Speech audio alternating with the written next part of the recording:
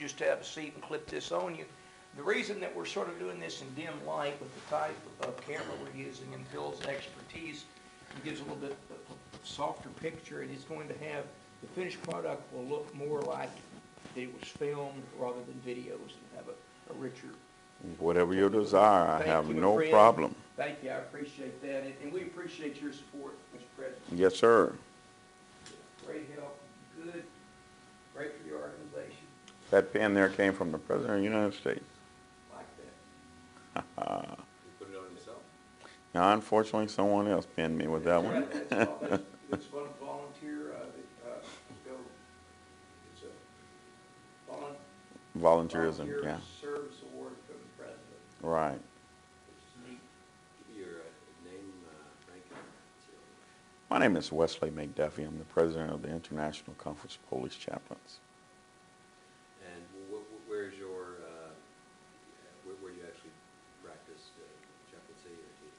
Well, that's a litany of things here. I, um, I'm a chaplain for uh, Dalworthington Gardens Department of Public Safety in Texas, Texas Department of Public Safety, uh, help with Arlington PD, and chief chaplain with the DEA and Dallas Field Division.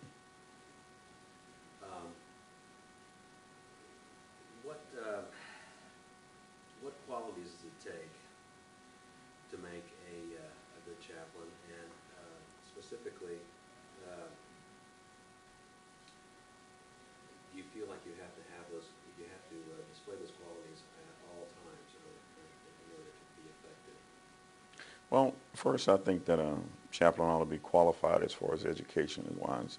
I think it should be trained in the field to know what to do and what not to do. Uh, most importantly, there are some things that you can't teach in a classroom, and that's the ability to listen. Uh, chaplain got to know when to talk and when not to talk, and got to know what command presence is all about. Sometimes it really don't require you to say anything. It just means that you be present in the event that someone want to share something with you, that they know that you're there. And sometimes people will come by and say thank you, and you never said a word.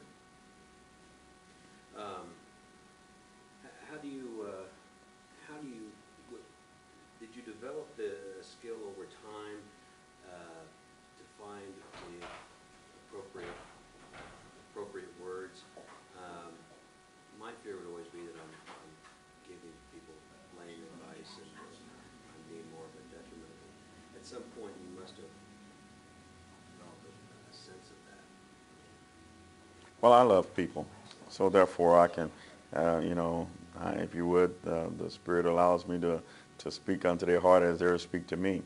I read people very well too. I can I can pretty much see when there's a hurt or, or when there's a concern, which is a big difference here.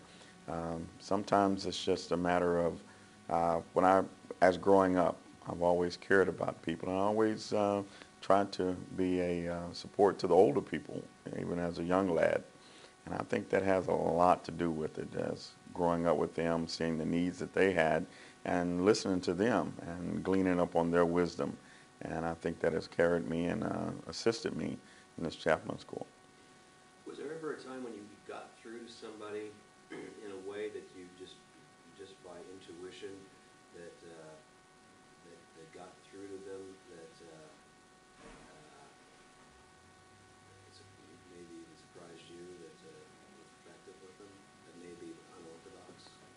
It has been. There's been times when you cross the color lines, if you would, uh, that when you feel like that didn't even, what you said to a person, they didn't even hear it, didn't even receive it.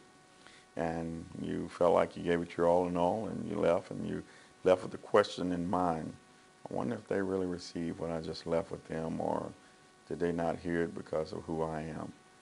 Um, as, as, the, as a black man that I am, ministering to a, a white family. And because there's been some families that say, is there anybody else that you can send over here? And quite naturally don't hurt my feelings. I just know that there's a need and we find somebody else to send. But there's been a time when someone came back and said, hey, just want you to know, I really appreciate everything that you did for me.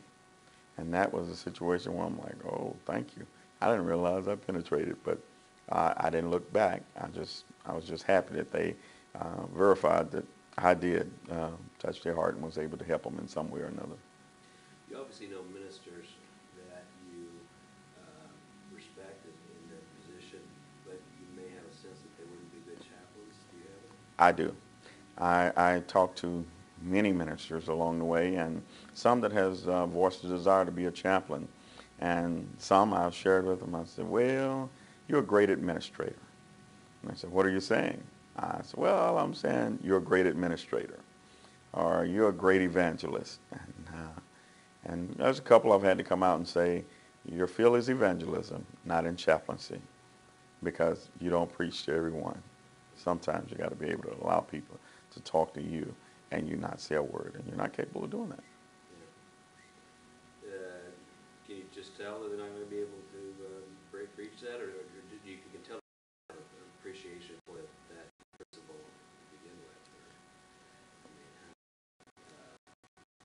Few minutes with a man or woman, I can pretty well tell, after being in it as long as I have, probably about 27 years, I can pretty well tell if you're going to be, uh, if this is for you or not.